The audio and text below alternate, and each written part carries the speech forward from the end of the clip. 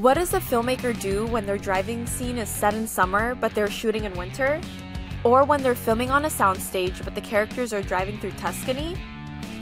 They turn to stock footage assets called driving plates.